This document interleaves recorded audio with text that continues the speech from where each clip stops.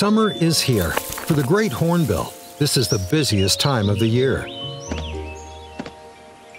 Over the months to come, hornbill couples will devote all their time and energy to breeding the next generation.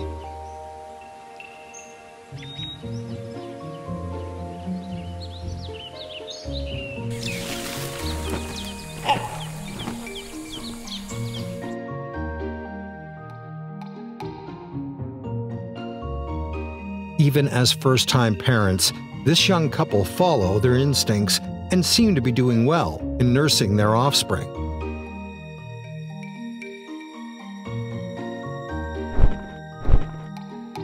After three months of hatching and feeding, the tree hole is too cramped for both the mother and her chick.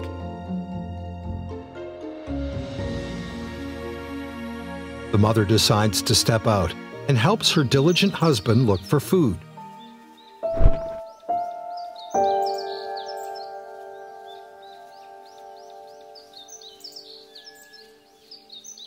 The chick is holding the fort, all by its lone self. Concerned about its chick, the mother returns to the nest and guards its entry despite the bad weather.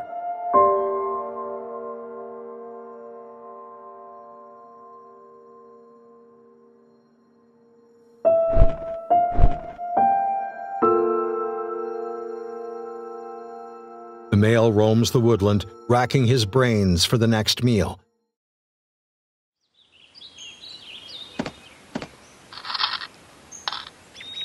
With its huge bulk and gigantic bill, the great hornbill has a wide range of choices when it comes to finding food.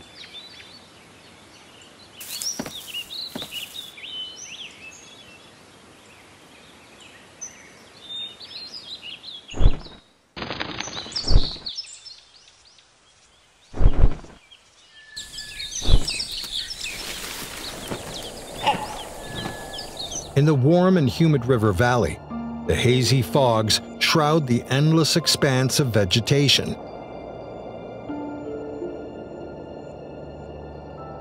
Most animals have their sight more or less obstructed, which offers the great hornbill ideal hunting opportunities.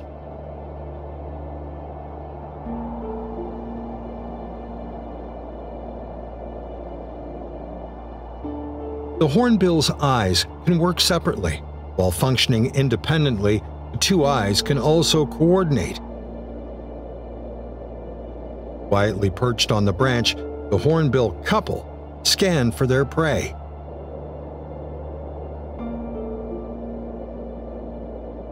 As the dense fog descends, the great hornbills come alive and begin the hunt.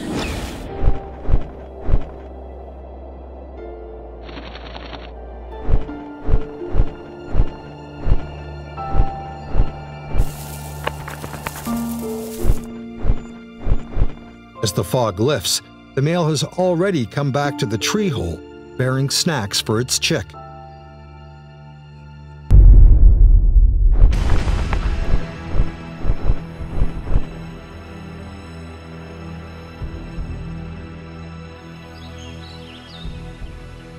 The greater racket-tailed drongo lost its beloved young.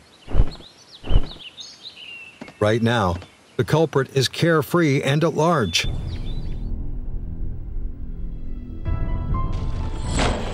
The drongo refuses to swallow this and launches a desperate attack at the hornbill several times its size.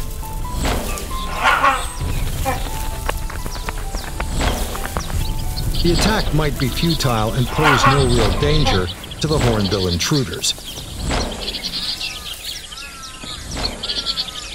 But at least it can drive them away from the branches that the drongo calls home.